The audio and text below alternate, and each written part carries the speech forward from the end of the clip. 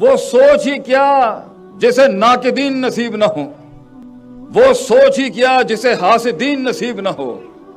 वो ख्वाब ही क्या जिसे हाकिदीन नसीब ना हो? वो सोच ही क्या जिसे गैर नहीं, अपने बैठ के कह रहे होते हैं? हमारे पंजाबी में एक जुमला है, जो बड़ा कातिल है ख्वाबों का जी। बड़े बड़े ख्वाब कत्ल कर दिए इस जुमले ने। बूथी देखिए तो अपनी?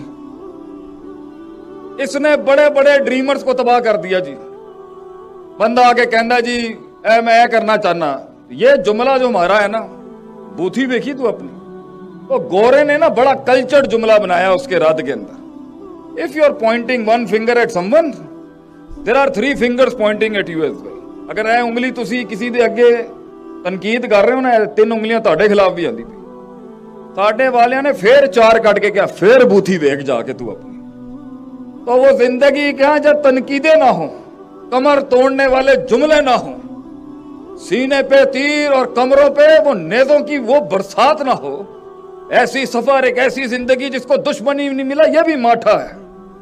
और ऐसा सफ़र जिसको सबकी ताइद मिल गई, ये भी माठा है।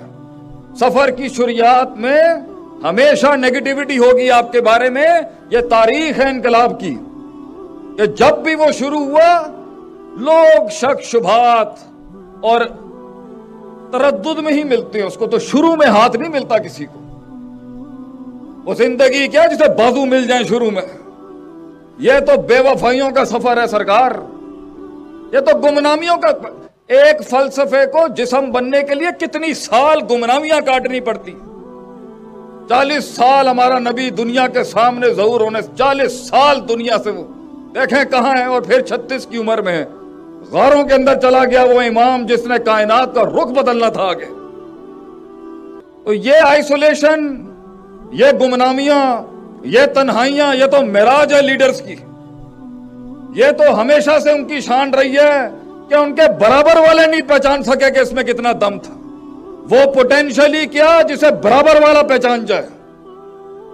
वो जिगर कलेजा ही क्या जिसे अपने गले लगा लें।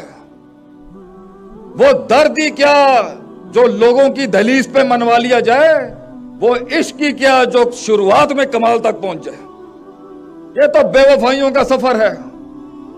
क्योंकि अगर चार कदम आपके और मेरे बढ़ गए आगे तो उनका झूठ जो उन्होंने अपने अंदर मारा हुआ होता है, जब वक्त की हसासियत और तकाजा उनको कह रहा था कि फिर सबक पर सदाकत का, अमानत का, क्यादत का इमामत का फिर सबक पढ़ खड़ा कर अपने आप को।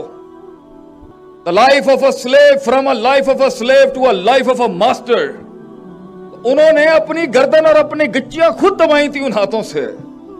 तो जब दूसरे चार कदम बढ़ाते हैं तो गैर बाद में मारते अपना होता है पहला कि कहीं ये मेरे सामने एक मकाफत अमल बन के ना आ जाए। उन्हें डर होता है कि हमने तो 20 साल लगाए अपने अंदर की आवाज़ को मारने में ये कहीं 20 महीने में वो ना करते जो मैं नहीं कर सका।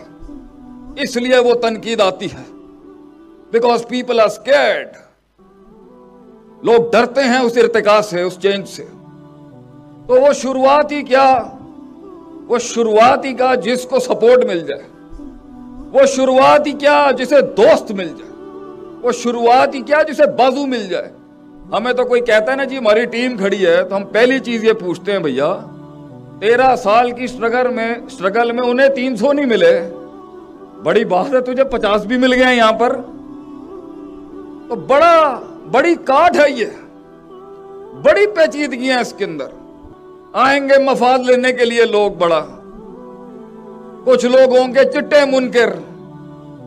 और ये तीर चलते लेंगे तो पहला सबक इस सफ़र का ये है, मेरे भाई, मेरी बहनों। मेरा खानदान, मेरी कौम बैठी है सामने। इनको कान नहीं देते कभी। अगर सुनेगा ना मेरे भाई तो ये तुझसे तो तेरा वजूद अदम में ले जाएँगे, इस पर एक लतीफा सुनाते हैं हम आपको। कान नहीं देते इन चीज़ों को शुरुआत में कान नहीं देते, बल्कि जवाब कभी नहीं देते। शायद कल से यही समझाता आया हूँ मैं सबको कि जवाब नहीं देते, काम खुद जवाब देता है अपनी जगह के ऊपर। तरक्की खुद बोलती है। वो अदावत ही क्या जिसे जुमले देने पड़ जाए। वो दुश्मनी क्या जिसे जुमले देने पड़ जाए। इंसान का काम बोलना चाहिए। हमसे पूरा पाकिस्तान सवाल करता है और अब तो बैन अवी दुनिया से पूछते जी माँ बाप को कैसे कायल करें? मैं ये करना चाहती हूँ, मैं ये करना चाहती हूँ। How should I convince my parents माँ बाप को कैसे कायल करें? ऐसी उन्होंने वही गल सुनाने और भाई माँ बाप को, बुज़ुर्गों को कायल नहीं किया जाता। सिर्फ़ दिखाया जाता है, कायल वो खुद हो जाएँगे। मुँह के फायर चलाता रहेगा, तेरा अपना साया नहीं मानेगा, तू कौन के दिल के अंदर अल्फाजों के साथ वो विजन उतारेगा, ये होता ही नहीं है। तो शुरुआत बड़ी खामोशियों की होती है उन लोगों की जो बने थे आसमानों पे राज करने के लिए। खामोशियाँ नहीं देखी हमने जिंदगियों। सकूत, एक शेर की खामोशी, उसके बालों के अंदर वो हैबत तो सबको दिखती है, लेकिन सदियों की काट जो वो काटता है कि शेर को आप जाके यूट्यूब पे लिखिएगा इन्फेंटिसाइड ऑफ़ लायंस तो एक वर्कशॉप सिर्फ़ शेर पे होनी चाहिए कि शेर को उस मकाम तक पहुँचने के लिए कि उसे बगैर कहे पूरे जंगल के अंदर लोग मानते हैं काट काटी होती है, उसने खामोशियों की। कुत्ता रोज भोंगता है, मगर वो इंपैक्ट क्रिएट नहीं कर सकता। शेर सिर्फ़ सुबह धाड़ता है, बाकी काम उसकी शेरनियाँ ही कर जाती हैं और उसका इमेज और उसका ब्रांड करता है। वो काट, क्योंकि शेर को दुनिया के अंदर सिर्फ़ शेर मार सकता है और कोई मखलूक नहीं मारती। ये है उसकी काट के वो जो उसने वक्त काटना होता है तन्हाइयों में, उन तनकीदों में, उन नेगेटिविटीज में। कोई सपोर्ट नहीं होगी उसकी, क्योंकि ऑलरेडी वो वो ऑलरेडी आग के अंगारों पे होता है एक कायद क्योंकि कौम उसे समझ नहीं सकती। इसलिए कहते हैं ना लीडर के आँसू कभी नहीं निकलने चाहिए कौम के आगे। क्योंकि उस वक्त भी उसे कोई नहीं समझ सकता जब वो तनहा था। और जब वो कुछ बन जाएगा, तब रो गया तो लोग उसकी कमजोरियों और वल्नरेबिलिटीज को देख लेंगे। ये सफ़र आग के अंगारों का, इसमें आप अपना आप दिखा ही नहीं सकते। तो जो लोग जहाँ बैठे हुए हैं और मनोसलवा आसमानों से उनकी जिंदगियों में नहीं उतर रहा, मेरे भाई, पहला उसूल यह है nothing will change if you want change and nothing will progress as long as you want progress कुछ नहीं बदलेगा। इन आंसुओं को वो रुमाल नसीब नहीं होंगे कभी।